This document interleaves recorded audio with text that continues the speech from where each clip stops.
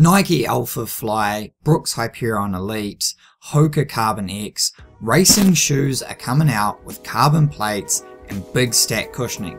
However, latest research suggests that the carbon plate is just a gimmick.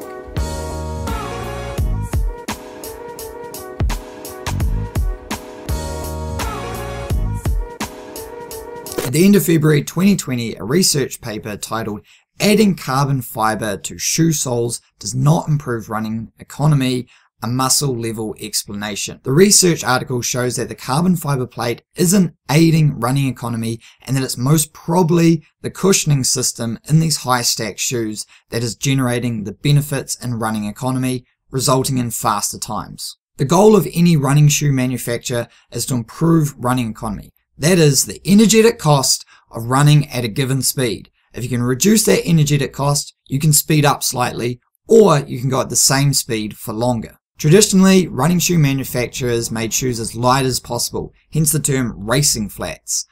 The lighter the shoe, the less energy it costs to carry that shoe through your marathon, 5k, whatever event you're doing. And as a result, improved running economy that way. That was the standard until recently. In 2017, Nike released the Vaporfly, which changed the shoe game. It had a carbon fiber plate and stacks of foam, and since then, multiple world records and personal bests have been broken throughout the running community. Yet since the release of that Nike Vaporfly in 2017, only two studies have shown that the carbon fiber plate can improve running economy by 0.8% and the other paper showing 1.1%. Now, with the addition of this study, there are four studies showing that the carbon fiber plate does not aid in running economy whatsoever. The theory for putting carbon fiber plates in shoes is to increase the bending stiffness. This puts the ground contact more to the forefoot and increases the ground reaction forces, helping to propel you forward, so an increase in propulsion. There's a hole in that theory before it's even tested because each force has an equal and opposite reaction.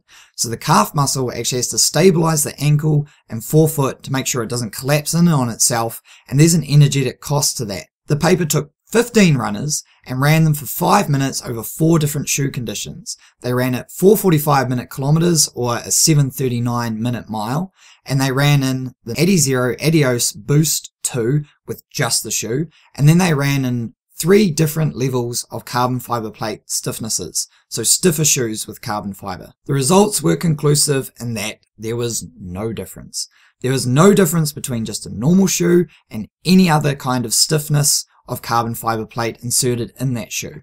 Yet despite this finding that the carbon fiber plate isn't aiding in running economy, we know world records are being broken, people are breaking their personal bests, and there are multiple videos on YouTube showing you how much faster the new Vaporfly Next Percent is compared to just a standard old school racing flat. So what's happening? So if records are being broken and the shoe's definitely faster and it's been shown multiple times that it's not the carbon fiber plate, it has to come down to the foam. When comparing the Nike Zoom X midsole foam to the standard Adidas Boost or any other racing flat, it's shown to be softer and more responsive. And a softer, more responsive shoe has scientifically been shown to increase running economy due to the reduced dissipation of energy. And that's the big thing about these shoes, is they're not giving you energy, they're removing the wastage of energy of when your foot hits the ground and they're giving you a more energy return from that point of contact, that ground reaction force. So it's the foam in these shoes, not the carbon fiber plate.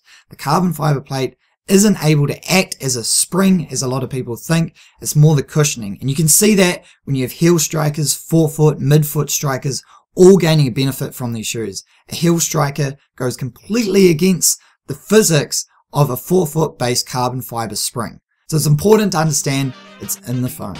Alright, until next time people, happy training.